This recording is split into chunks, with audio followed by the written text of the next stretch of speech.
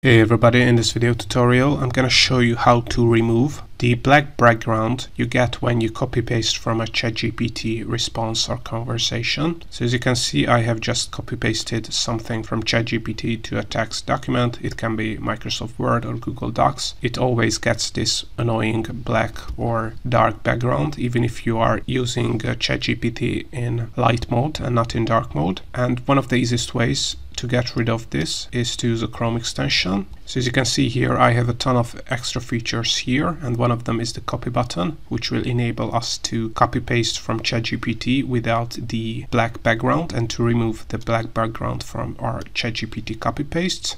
So all you have to do is install this Chrome extension called Superpower ChatGPT. I will link it in the description below and then you're going to be able to open this Chrome extension in your web browser and add it to your Google Chrome, Microsoft Edge or any kind of Chromium based web browser. So do that and once you have installed your Chrome extension, all you have to do is refresh your ChatGPT account. So all these extra tools and features that this Superpower ChatGPT Chrome extension has will appear on your ChatGPT account. And to remove the black background when you copy paste from ChatGPT, all you have to do is click on the copy button here and then go to your text document and then just click on right click or you can also press Ctrl or Command V, but if we click on paste here, as you can see, the black dark background from ChatGPT has been removed. So all in all, this is how to remove the black background from ChatGPT copy paste in text document.